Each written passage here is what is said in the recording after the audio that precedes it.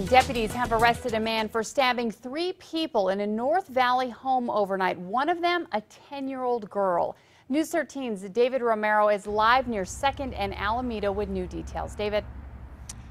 Kim Bernalillo County Sheriff's deputies say that girl is in critical condition in the hospital with wounds to her face and head. Now, 43-year-old Leroy Lindsay was taken into custody for the stabbings after 1 a.m. this morning, and this is a picture that you're looking at right now of Lindsay from a previous arrest. Now, deputies say Lindsay was spending the night at a home near 2nd and Alameda. Authorities say it was sometime around 1 when Lindsay forced his way into the homeowner's bedroom with a knife and began attacking her.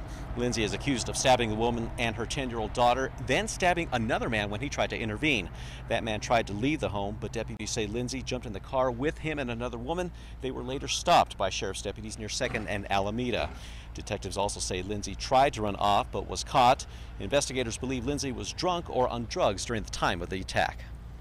It's very early right now in the investigation, so detectives are trying to find out exactly, you know, the relationship of the individual victims to the possible offenders and also exactly what transpired and led up to the stabbing.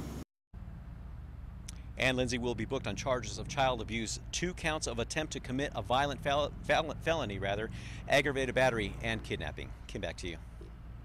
Thank you, David. Now, the homeowner was stabbed in the arms, legs, and torso. No word on her condition or the condition of the man who was stabbed.